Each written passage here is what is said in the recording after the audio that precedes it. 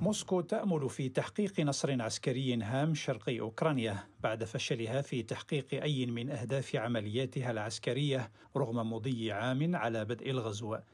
المدفعية الروسية كثفت من قصفها للطرق المؤدية إلى مدينة بخموت المحاصرة وقالت وكالة رويترز إن القصف الروسي استهدف آخر الطرق المؤدية إلى المدينة بهدف استكمال تطويقها والسيطرة عليها وأعلن يوفيغني بريغوزين قائد مجموعة فاغنر الروسية المشاركة في العمليات العسكرية هناك أن المدينة التي عرفت دمارا كبيرا بسبب القصف الروسي لنحو سبعة أشهر باتت مطوقة بالكامل تقريبا ولم يبقى سوى طريق واحد فقط مفتوح أمام القوات الأوكرانية.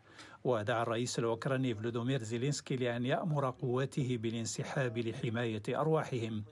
وفي الوقت الذي تستعر فيه المعارك حول باخموت قام وزير الدفاع الروسي سيرجي شويغو بزيارة القوات الروسية في أوكرانيا.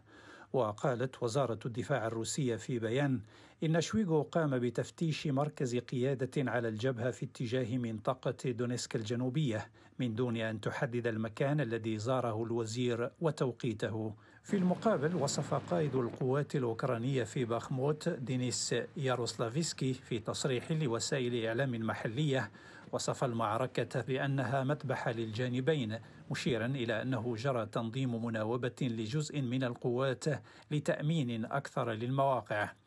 تركيز القوات الروسية على تحقيق نصر عسكري في مدينة بخموت التي كان يبلغ عدد سكانها نحو سبعين ألف نسمة سيكون نقطة انطلاق لاستكمال السيطرة الروسية على منطقة دونباس الصناعية. هذا وأعلنت واشنطن الجمعة تقديم مساعدة عسكرية جديدة لأوكرانيا بقيمة 400 مليون دولار تتكون أساسا من الذخيرة.